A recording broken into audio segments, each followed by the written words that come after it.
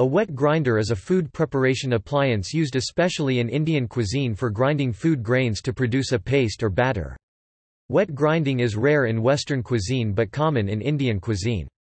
Wet grinders are used to make pastes from grains and lentils and is used extensively in South Indian cuisine for preparation of popular dishes such as dosa, idli, vada, appam and paniyaram. It consists of a granite stones which rotate inside a metal drum with the help of an electric motor and the food grains get crushed between the stone and drum.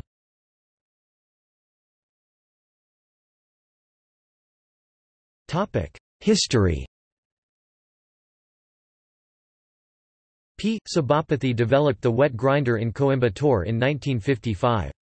Sabapathy introduced the grinders to other cities such as Chennai and Madurai.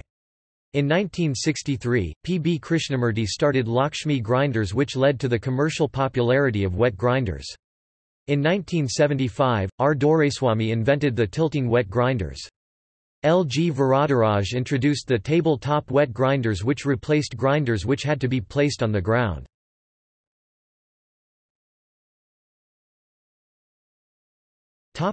Manufacturing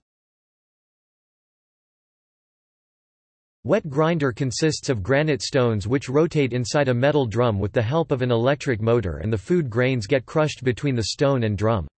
Wet grinders have two advantages over electric mixers or blenders.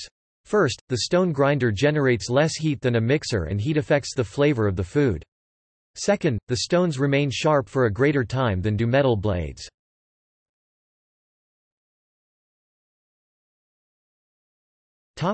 Industry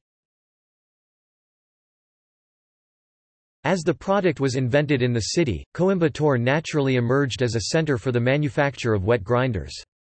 The availability of raw material in the form of granite stones, electric motor manufacturing units and the necessary heavy equipment such as lathes, drilling and milling machines used in manufacturing aided the development of the industry.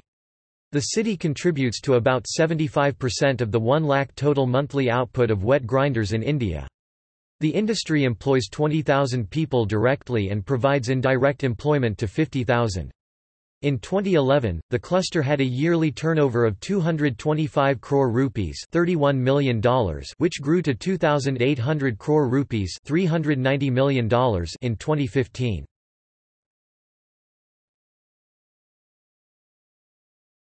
Topic: Geographical indication